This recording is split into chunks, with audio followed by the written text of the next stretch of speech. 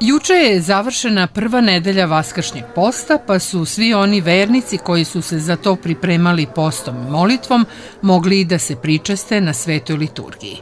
Kao nedelju pravoslavlja na samom početku časnog posta naša sveta pravoslavna crkva obeležava uspomenu na jednu od svojih velikih pobeda nad ikonoborcima, to jest za očuvanje svetih ikona u crkvi. Tako je juče u Šidu u crkvi prenosa moštiju svetog oca Nikolaja, svetom liturgijom i litijom obeležen ovaj značajni praznik. Ova nedelja je ustanovljena upravo zbog pobede i triumfa pravoslavne vere nad ikonoboračkom jeresi.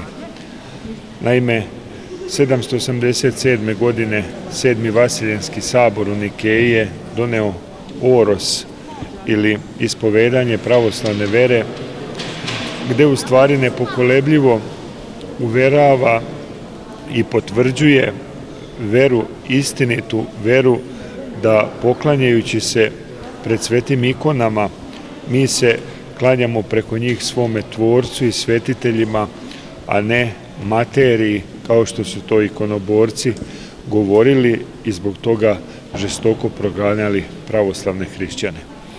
Mi smo danas u našem svetom hramu u Šidu, hramu prenosa moštije svetog Nikole, svetom liturgijom i kao što ste imali priliku i da vidite mnoštvom naroda, dece koja su pristupila Svetoj čaši, Svetom putiru, proslavili ovaj praznik litijski, prošli smo ikonama, noseći ikone ulicama našeg grada Šida i pročitali taj oros, to jest ispovedanje koje je doneto na sedmom Vasiljenskom saboru.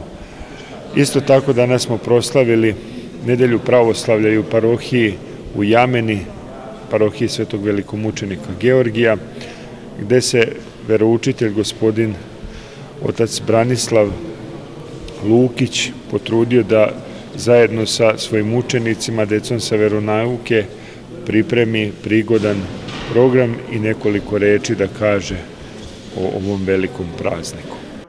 Svetu liturgiju u hramu Svetog oca Nikolaja u Šidu zajedno su služili protojereji Radomir Mišić, Milan Pršić i Zoran Ugrešić, a molitvenim pesmama pratio hor i verni narod.